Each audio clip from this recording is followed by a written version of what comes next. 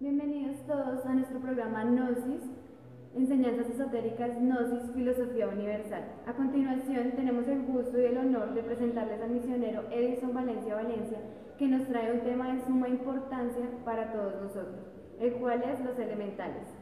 Buen día Edison. Buen día para usted, muy amable por su invitación.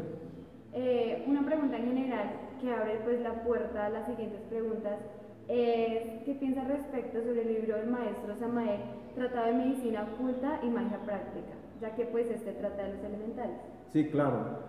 Pues lo que yo puedo decir durante los pocos años que llevo dentro del campo de la medicina, el naturismo y dentro de bueno, los estudios esotéricos gnósticos, pues yo puedo, podría decir de acuerdo a mi criterio que es una de las obras magnas entregada en los tiempos prácticamente del fin de la humanidad como la base fundamental para el estudio de todo lo que el maestro enseña ahí en el del campo a nivel de la elementoterapia, de la teurgia, de todo el estudio del naturismo, del tratamiento de múltiples enfermedades, ya que pues en esa obra se encuentran una cantidad de informaciones antiquísimas, fórmulas que no son incluso de esta era, sino de eras mucho más eh, anteriores a la actual en la cual nos encontramos. Entonces, estudiar el Tratado de Medicina Oculta y Magia Práctica para todo médico que se considere médico dentro de los estudios botánicos y eh, dentro de la magia elemental, pues el libro de Medicina Oculta y Magia Práctica es el tratado fundamental para eso.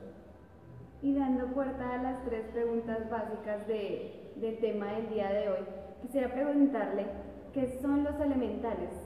Bueno, los elementales, primero que todo debemos eh, analizar la palabra elemental porque pues estamos hablando que corresponde a un elemento, por eso es elemental, ¿sí? Y es una energía como tal.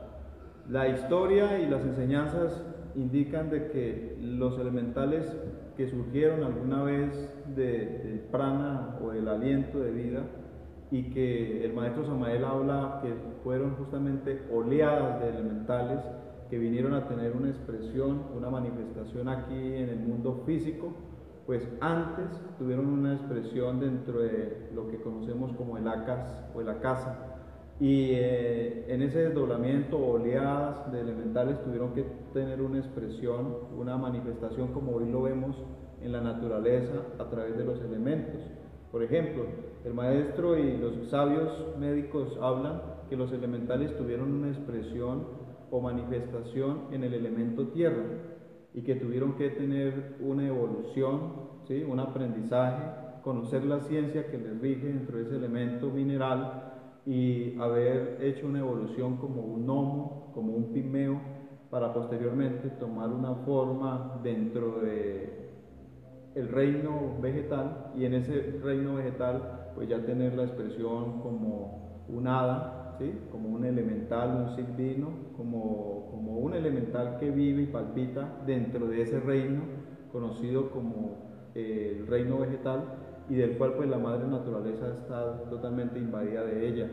También esos elementales en su origen primordial eh, tuvieron su expresión y la tienen actualmente en el campo del reino animal. Entonces todos los animales que nosotros conocemos están justamente eh, clasificados dentro de diferentes formas y expresiones de animales, pero que ahí están los elementales.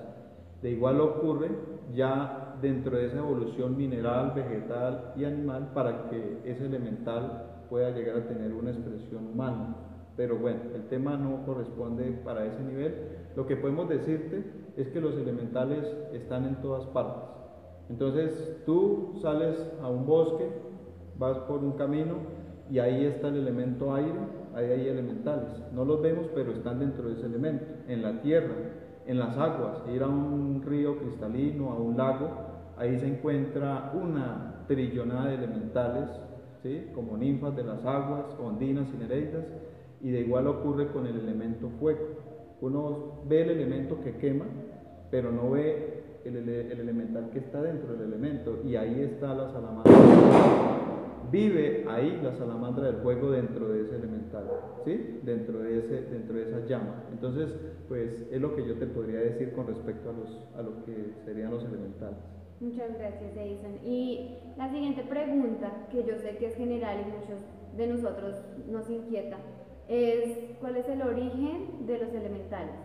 Sí, ese origen es antiquísimo. Por eso te decía que desde la misma expresión del prana, ¿sí? de la energía pránica universal, desde la misma manifestación crística eh, de Dios, ya ahí han brotado como esencias ígneas los elementales.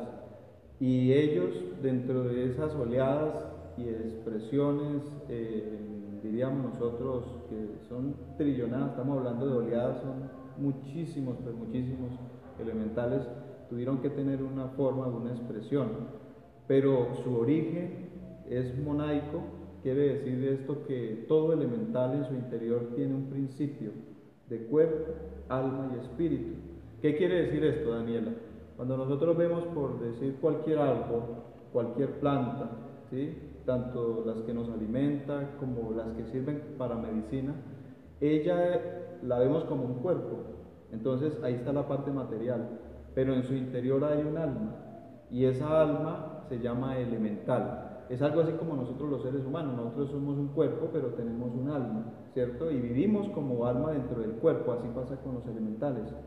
Y ese elemental también tiene un espíritu, o sea, tiene una chispa divina, tiene un, origen, alguien que la guía, que la orienta para que vaya en su proceso de evolución y ese espíritu pues es su mónada interna, ¿sí? es su Dios interior, algo muy parecido como nosotros los seres humanos.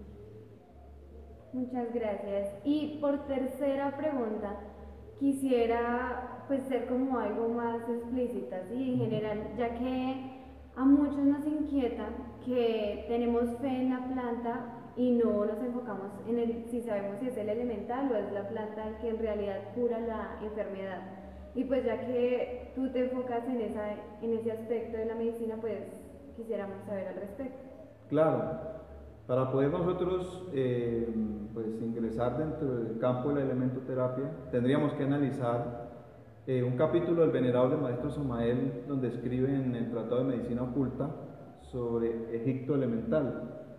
Él en ese capítulo nos habla que todo el campo de la magia elemental está directamente relacionada con la esfinge elemental y que todos los reinos de la madre naturaleza están regidos directamente por los gurús devas, ¿sí? gurús devas de la naturaleza. ¿Qué quiere decir esto, Daniela? Que todo reino tiene en su interior como a la mismísima Madre Diosa Naturaleza, tiene otra cantidad de dioses y devas. ¿Qué es un deva? Un deva es un ser que guía a cientos de elementales. Haga de cuenta aquí como, como un profesor que tiene en sus aulas a una cantidad de alumnos y les enseña ciertas materias para prepararlos ¿no? dentro del campo de, de una ciencia. De igual ocurre en el reino de la naturaleza, hay muchos devas y elementales que guían a esos elementales de la madre naturaleza y les instruyen. Esos elementales, dentro de los estudios de, de la elementoterapia, son los que sabiamente el mago o el médico sabe manipular para curar determinadas enfermedades, para ayudar a determinadas personas en un momento dado. ¿Qué quiere decir esto? Cuando el médico se acerca a una planta, lo hace justamente con el interés no solo de utilizar la parte física, porque la pregunta que tú haces está muy bien con, con, relación a que hoy en día las personas que ignoran la magia elemental, que ignoran la elementoterapia, que ignoran que dentro de una planta se encuentra un alma que vive y palpita en ese cuerpo, entonces las personas por lo regular se van al mercado y piden X planta y lo que hacen es tirar esa planta a la olla para prepararla, para, para hacer una medicina. Pero no hay ningún respeto ningún, y tampoco no hay ningún tipo de mística en ese, en, ese tipo de, en ese tipo de ritual que la persona está haciendo. La persona cocina la planta y después empieza a beber normal y dice que esa planta sirve para esa, esa enfermedad que tiene. Y mira que aún sin ningún tipo de respeto la persona siente mejorías, o sea, ve resultados. ¿Por qué? Porque la planta contiene en su interior pues ciertos flavonoides, ciertas sustancias necesarias, ciertos minerales, ciertas vitaminas que van a ayudar al tratamiento de la enfermedad. Pero no está actuando algo que nosotros manejamos los gnósticos en el campo de la medicina, que es el elemental que vive dentro de la planta, ¿sí? que ya entra a un nivel mucho más elevado y a esto se le conoce como elementales o magia elemental o elementoterapia. ¿Qué significa la palabra elementoterapia? Que nosotros vamos a hacer una terapia con elementales, con una energía espiritual que no vemos, pero que vive dentro de la planta, que está ahí. Ejemplo, yo te veo a ti, pero resulta que no te veo realmente quién eres, ¿sí? porque tú estás dentro de tu propio cuerpo, no te puedo ver, veo el exterior. Tú me ves a mí, pero no me ves quién está hablando.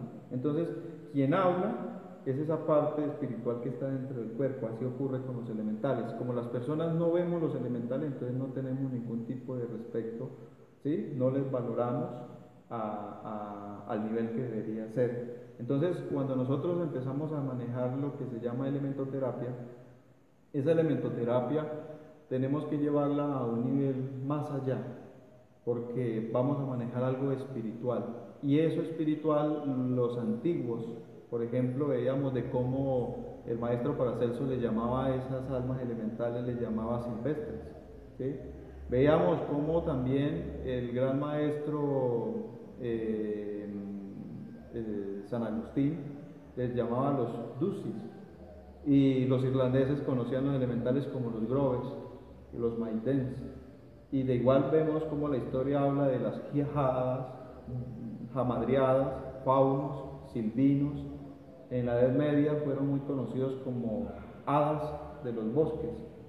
Y los indios arhuacos de la Sierra Nevada de Santa Marta les llama los animes, los que animan la vida.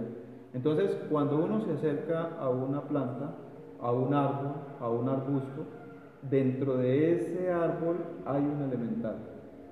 El venerable maestro Samael nos habla de evolución elemental en, muchos, en muchas formas y cuando nosotros podemos penetrar en los bosques, en las llanuras, en las selvas, esos ruidos, esos movimientos, esos sonidos e incluso eh, eh, esos, esos estados que se sienten en esos lugares que incluso puede la persona sentir como temor, es porque estamos rodeados de una cantidad de elementales pero, pero miles de elementales.